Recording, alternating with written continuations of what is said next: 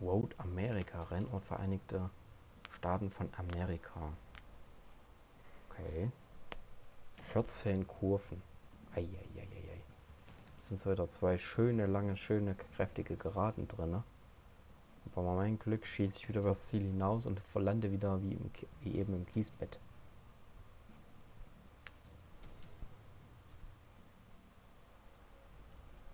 Naja. Kann man machen, würde ich sagen.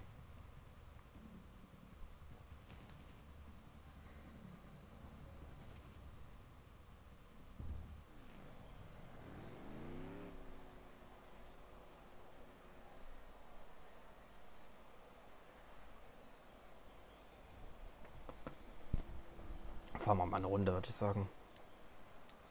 Hey, wo stehe ich denn hier? Wieso stehe ich denn so komisch jetzt auf einmal da? Hallo? Alles null?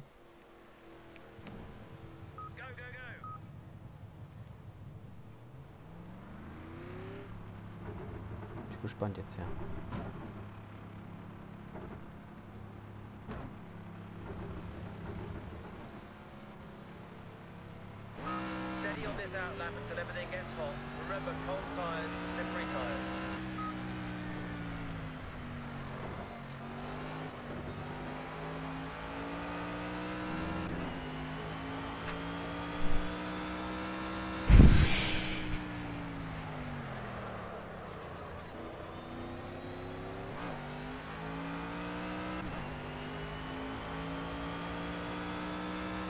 Strecke scheint schon mal etwas besser auf jeden Fall zu sein. Und schön lang gerade oben schön ballern können. Das ist ja gut, wenn ich nicht gerade wieder wie eben wie leicht die Wiese mitnehme. Wir haben aber auch hier eine sehr gute scharfe Kurve, wo wir dann stark abbremsen müssen. Kann auch sein, dass wir da dann mal über das Ziel hinausschießen. Wenn wir mal vergesslich sind, wie ich nun mal bin. Und diesbezüglich dann da in die Bande einrasten. Aber es ist kein viel Auslauf, da musst du gut bremsen auf jeden Fall. Oder steht die Bremskraft höher. Das ist natürlich auch noch eine Variante.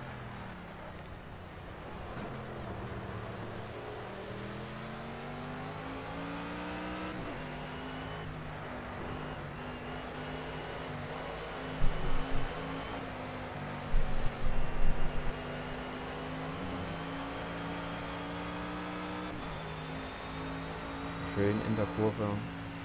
Denjenigen hier überholt und jetzt hier mit 190 in die Kurve nein und Vollgas.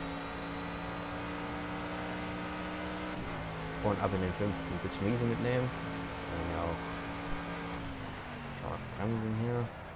Stark Rechtskurve. Schauen uns, dass die Bremse da so überhaupt mithalten.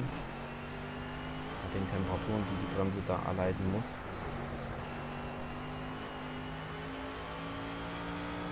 wir uns auch noch mit der vor uns hier rumeiert.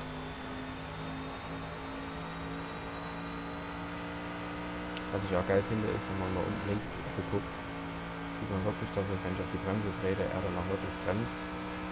Oder diesbezüglich dann Gas runtergeht. Und da haben wir schon unseren ersten Fehler hier. Das Ziel hinausgeschossen. Camero nüchter, noch vorgedrängelt. Er musste natürlich dafür wieder richtig in die Heiße gehen. Sonst wäre er mir hinten reingeschrubbt. Perfekt auf jeden Fall. Komm, Ladedruck, gib ihn. Manchmal kommt es mir so vor, als ob das Auto irgendwie seine Leistung verliert. Muss ich sagen. Viel Zuschauer, herzlich willkommen. Gerne mal was in die Kommentare sagten. Oh, da dreht der Controller stark hier bei der starken Bremsung. Eigentlich? Mann, was machst denn du hier? Was haben wir denn? Oh, wir haben schon über 400 Grad auf der Vorderachse. Na weg hier mit deinem Geringverdiener-Auto. Weg da hier. Ey, so holst du mich hier, Holger. Lol, du hast ja die Facecam an. Lange. Das ist, äh, hattest du nichts mit langen Ärmeln? Hä? Nein. Warum? Nicht kalt? Nö. Dann sollte ich mir was mit langen Ärmeln anziehen. Fragezeichen, ich bin daheim. Kann ich noch rumrennen, wie ich will. Jo. Mir werden drei angezeigt, aber es ist, ist nur du und ich dran. Werden hier gerade in, in Twitch 4 angezeigt? Ich nicht. Ja, Kann auch sein, dass es von PlayStation Live ist. Die werden von Twitch gezählt als Dings, aber nicht, äh, wenn die jetzt zum Beispiel über die Blazy zugucken, live über PlayStation zum Beispiel, zählt das ja auch als Zuschauer. Die, die Kur ist wieder drin. Wieder drin. Ja, vorhin war ja wieder draußen. Kann auch sein, dass er nicht angezeigt worden ist.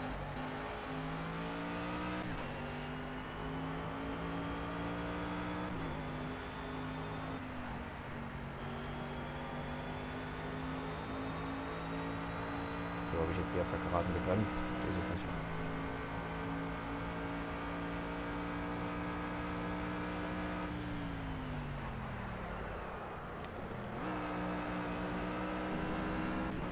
Perfekt überholt. Perfekt auf die Kurve.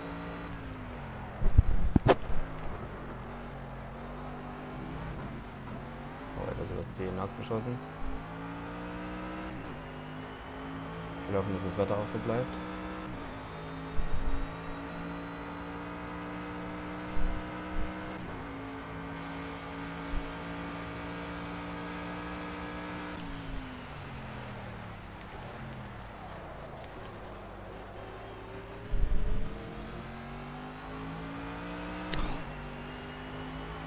Sektor habe ich war zu langsam. Ah, hier wieder ein Fehler passiert. Jetzt zum Glück nur Training.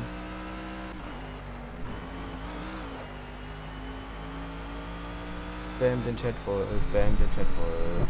Spam doch mal den Chat voll. Liebe Zuschauer. Gerne mal Hallöchen oder irgendwas reinschreiben.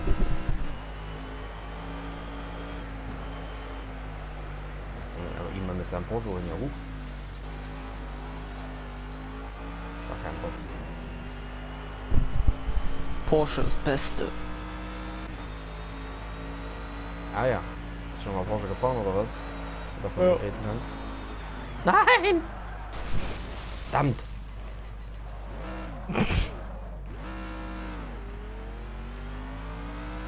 Sowas kann unter anderem auch mal passieren. Fahrerfehler. Was ist passiert? Guckst du Streaming, siehst du es. Ja, nee, ich habe ja gesehen, dass du dich äh, überdreht, äh, dass du dich gedreht hast, aber wie? Das ist, wenn man halt so weit außen fährt, die man so viel Gas gibt und dann durch irgendeine Unebenheit oder durch zum Beispiel Ach so, oder ja. dann Heckantrieb, gib ihn. Mhm. So fahr ich eigentlich wie geölter Blitz, ich bin ja sowieso schon erster.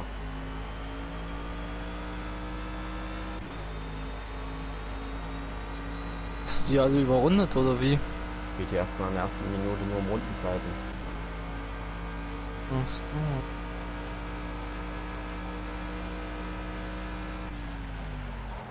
Bremse auch recht spät in den Kurven.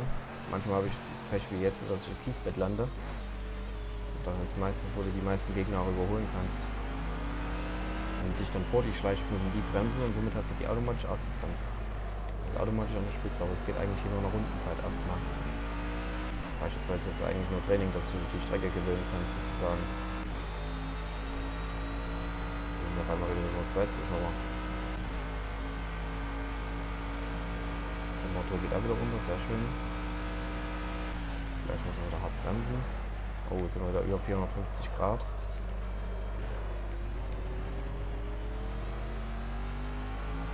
Deswegen ist es beim Rennwagen wichtig, dass die, die Paneele, sag ich jetzt mal, die Bremsscheiben gut belüftet sind, dass die Bremse gut Fahrtwind bekommt und auch gut wieder runterfährt. Sonst passiert es bei Zeiten, dass die Bremsscheibe sich nämlich irgendwie verformt. Oder du keine Bremsleistung hast.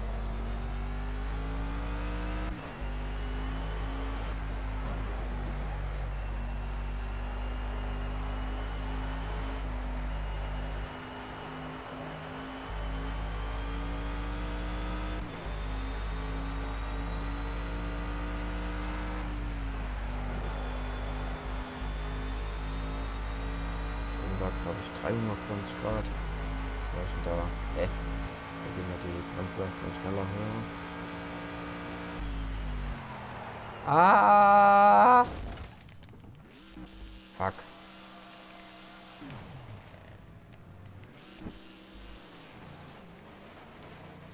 Hä, das Auto ist aber nicht kaputt, hä? Was ist da los? Hä? Normalerweise müsste das Auto doch ein Arsch sein. Na, bin Platz 1.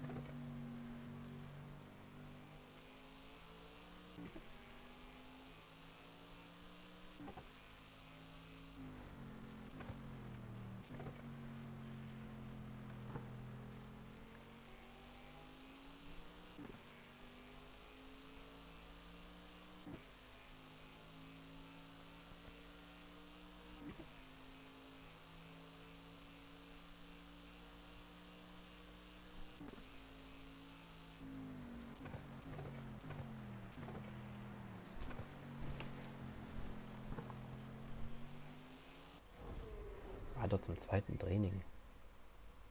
Brauche ich ja eigentlich gar nicht. Bin ja sowieso schon erster. Zeige Motorformate.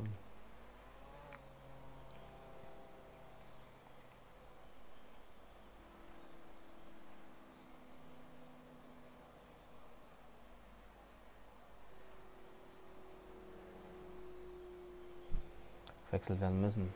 Was dein Teamingenieur wird dir Bescheid geben, wenn du die Boxengasse für den obligatorischen Boxenstopp öffnet. Du kannst deinen Boxenstopp jederzeit nach dem Signal vor Rennende durchführen. Wenn du das nicht tust, wirst du von der Bewertung in den ganzen Rennen disqualifiziert. Oh, die besten Fahrer, die den langen Punktanhang erfolgen Skala.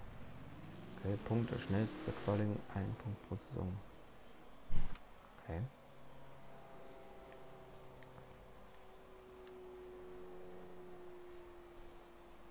28 Grad Temperatur hat die Bremse. Ah ja. Ich weiß noch nicht, was Verhältnis 9 zu 3 heißen soll. Wahrscheinlich Sprit.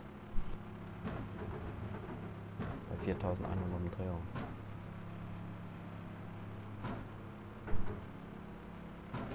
Nice and steady on the outlap. 6 zu 5. Hä? Das ist ein Doppelgang 5 zu 03. Doppelgang 4. Hä? Tut das nicht.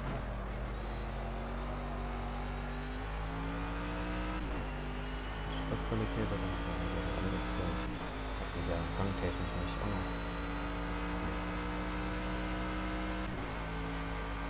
Das ist drin. 3,63.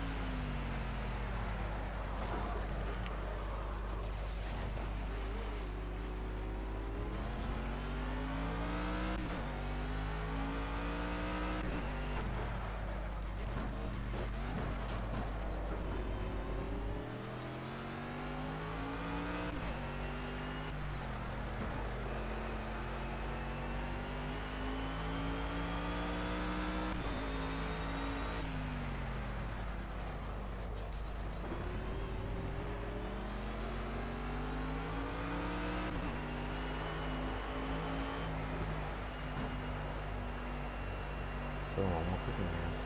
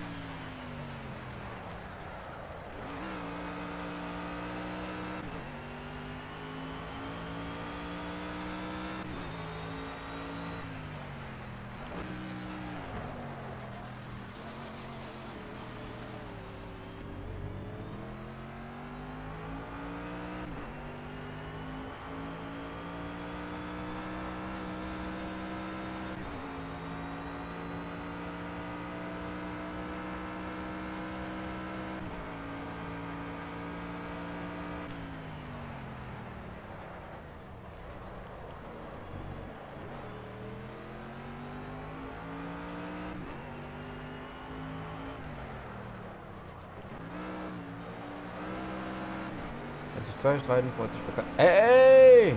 Du Fast was Falsches gesagt, Alter. So ein... Wozu hast du Spiegel, Alter? Kann man noch mal reingucken, ob jemand überholen möchte. Du hast ja keine Fahrschule besucht. Oder keine Rennschule.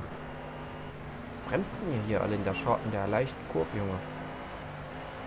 Und noch schön voll quer fahren. Vollgas durch hier.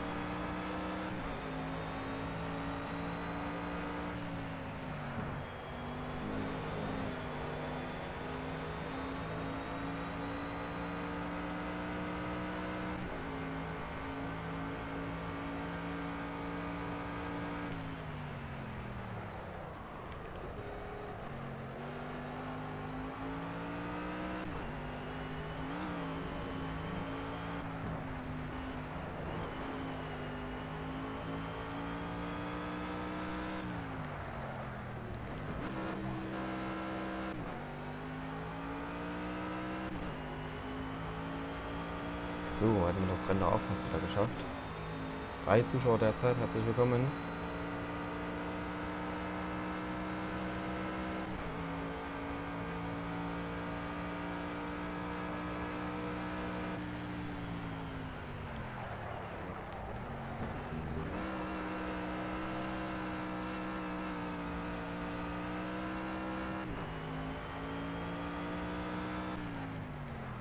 Muss man unbedingt aufpassen, dass ich das in Qualifying nicht mache. Dass ich da wieder hier Mecker mit Äcker kriege.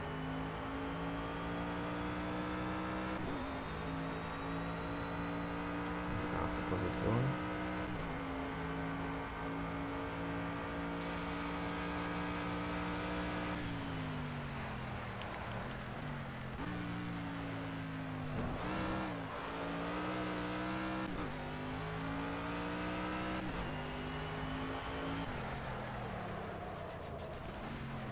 Mann, ich bremse noch viel zu spät.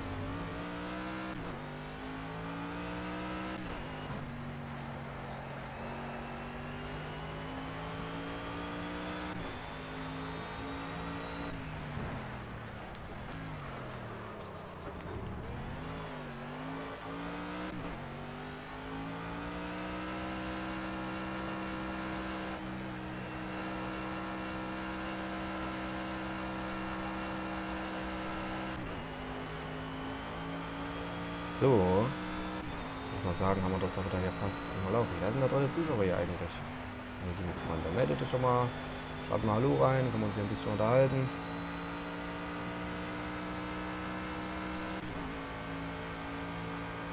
Ja, ich den Chat nur per Follower gemacht. Kann auch sein. Nein, nein, nein, nein. Ah, verdammt Axt.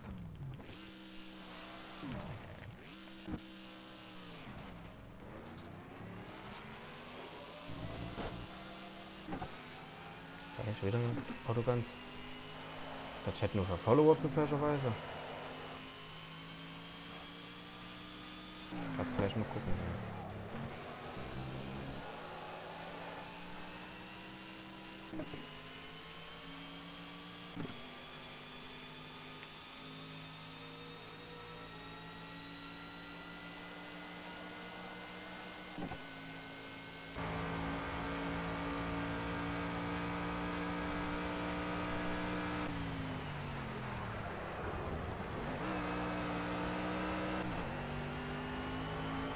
Der Runde muss ich jetzt aufbauen.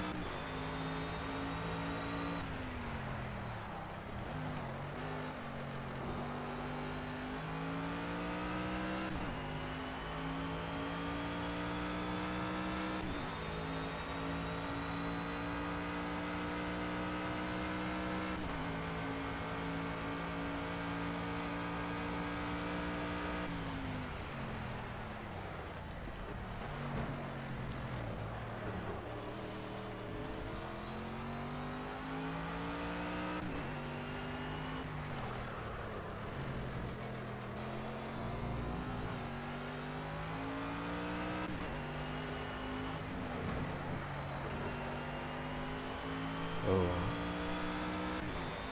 Ey, schläfst schon oder was? Mhm. Hab ich eigentlich was gebraucht? Was denn? der Chat nur für Follower ist, das siehst du doch, wenn du reingehst. Ja. Okay. Soll ich, soll ich mal gucken oder was? Ja. Das hat ja nicht gebracht. Bin ja kein Mod. Das siehst du auch so, wenn du reingehst. Ja, aber trotzdem bin ich kein Mod. Äh, nur du, ich und dieser Tiku. Nee, das müsste doch irgendwo dastehen. Wenn du reingehst, müsste da stehen Chat nur für Follower. Ja? Stream-Chat, Benutzer im Chat. Warte mal, ich mal kurz gucken. Chat, Chat-Einstellungen, Identität, Moderatorenanzeige. Chat. Chat-Einstellungen. Nee.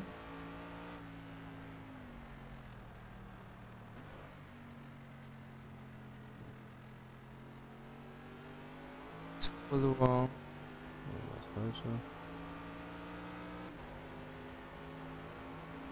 Also, Nee, das ist ja nochmal einstellen. das sind nur drei. Ähm, Ja, mir geht's ja nur darum, mir geht's ja nur darum, dass ich. Ich hatte ja irgendwann mal eingestellt gehabt nur für Follower. Also dass die Leute nur reinschreiben können, wenn sie einen Follower da gelassen haben. Aber mhm. es waren jetzt hier mehr Leute da gewesen und haben zugeschaut. Ich das Ja. ändern. aber nichts Neues. Hä, wie geht denn das jetzt hier? Mod. Symbolanzeige. Chat aussehen. Zeitstempel für Nachrichten.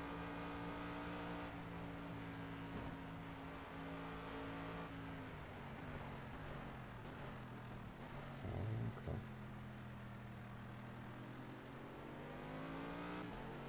Kanalmodi.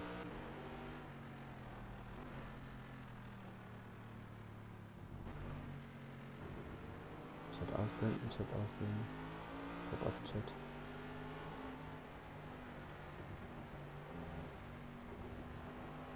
Ah ja.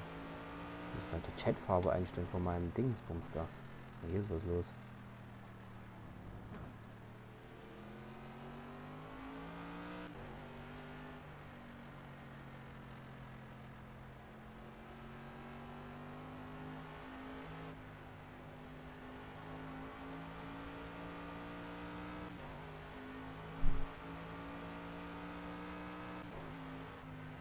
Kannst du nur einstellen, Emotionen, Chat. Äh, Rates anzeigen, Chat lernen, Anfragen zur Aufhebung einer Sperre prüfen. Null. Moderatoreneinstellungen verwalten. Ah ja. Links blockieren, verzögerte Mod. In der Bestätigung, Stufe 1. Blockierende Begriffe, zulässige Begriffe und Sätze. Hm, kannst du sehr viel einstellen. Diese Option aktivierst, können Chatter eine Anfrage zur Aufhebung eine Sperre versenden. Diese, äh, die sie deaktivieren können. Achso, Aufhebung, okay. Nur Follower-Chat aus. Moderatoren-Tool im Chat privat. Gesperrte Links. Willst mich ja gleich zum Mod machen. Dafür, dass ich einmal, am- einmal im Jahr hier auf dem Kanal streame? Nee.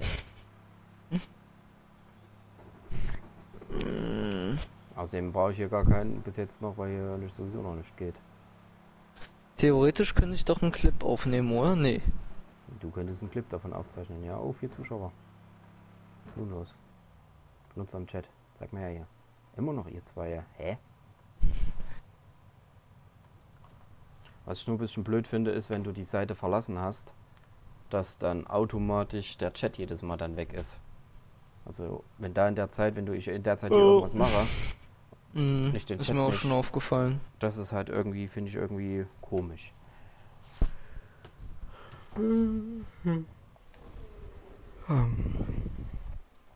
Ich hab Durst. Mal Und trinken seit holen. wie lange sagst du das jetzt? Ich habe mir vorhin eigentlich was zu trinken geholt, das habe ich auch schon wieder alle gemacht. Aber irgendwie habe ich immer noch Mundbappe.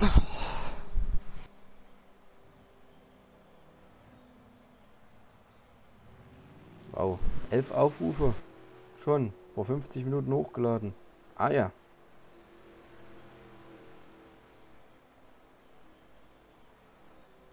Ich hoffe mal, dass bald wieder die Märkte öffnen. ja. Will mir eine neue Jogginghose kaufen. Ah ja. Ich, was ist denn da los? Elf Aufrufe und das vor 50 Minuten veröffentlicht? Was ist denn da los?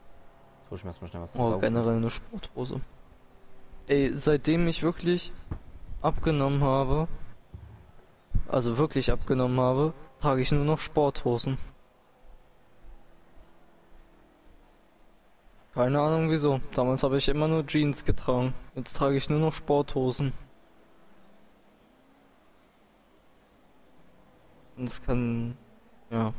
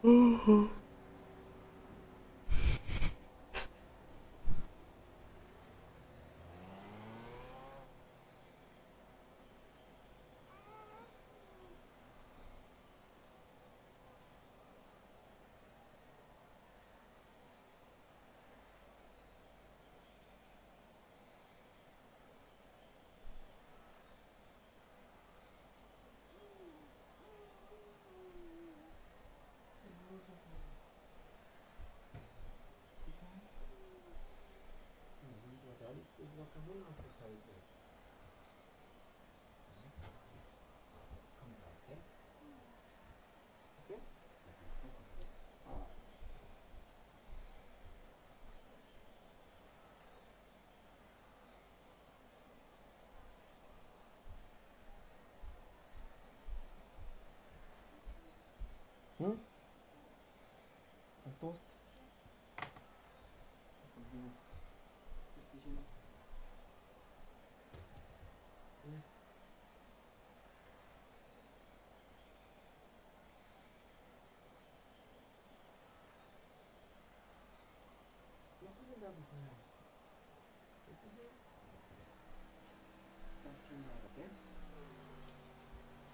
Ich komme gleich.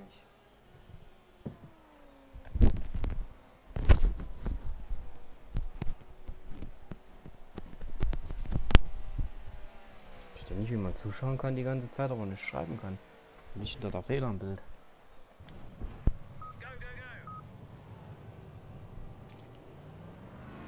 Hast du eigentlich noch gehört, das mit den Jogginghosen? Und dann brauchst du irgendwie Getränk, eine Jogginghose, ja. Nee, seitdem ich wirklich so richtig abgenommen habe, trage ich nur noch Jogginghosen. Oder generell Sporthosen. Nichts mehr anderes. Ist vielleicht noch ein bisschen besser, aber na, eine Jeans ist schon irgendwo wieder dann, sag ich mal, naja, stylischer. Kommt besser rüber. Das habe ich zumindest so für mich gemerkt. Ich hatte eigentlich auch immer nur so einen Jogginghosen-Style. Auch ordentliche, die noch was aussehen. Oder in so einer Art. Jeans immer so, also Mhm. Aber irgendwie macht trotzdem, wenn du den Jeans hast, das, das Erscheinungsbild komplett anders. Ja klar, ich gehe jetzt bestimmt nicht zu einem Bewerbungsgespräch mit einer Jogginghose. Hm. Hm.